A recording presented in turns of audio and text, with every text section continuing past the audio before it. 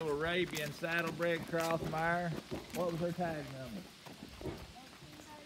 1839. Pretty little mare. 14 hands. Gentle. Uh, two little white feet and a big old star. Take it home. Make some kid a nice little pony. Well, that's bigger than a pony. 14 hands. A lot of people call that pony size. But anyway, little Arabian saddlebred cross. Little mare. 10 or 12 years old. Gentle. And uh, be a pretty little mare cleaned up. She's wanting to go back out there to her buddy. But anyways, she a trot, slow lope, rides good. Let her trot across through her. Won't lope her now. But a nice little pony. Price on her 650 deadline's Monday.